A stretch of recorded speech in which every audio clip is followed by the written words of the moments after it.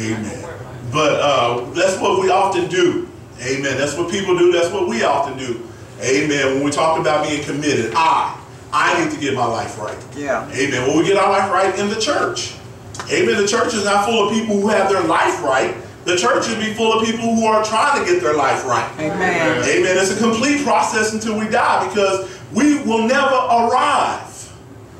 Amen. So we have not arrived and we will never arrive. Uh-huh. And so we are constantly trying to get our life right. Amen. The hospital is not for those who are well. The hospital is for those who are sick. And we are sin sick. And the church is a hospital where we are being healed from the sickness of sin.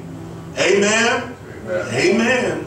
And yet God still uses us. The Bible says in Matthew chapter 6, uh, verse 33, but seek first the kingdom of God and his righteousness, and all these things shall be added unto you. Amen. And of course, I preached from this earlier this year as well. But that word first means prominent and not an ordinal number.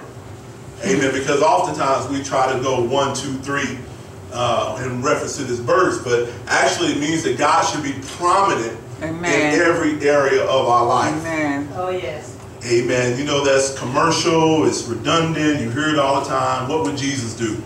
Yeah. But it's a very important question. What would Jesus do with handling our money? What would Jesus do when we talk about handling our time? What would Jesus do when we talk about how we deal with people? Amen.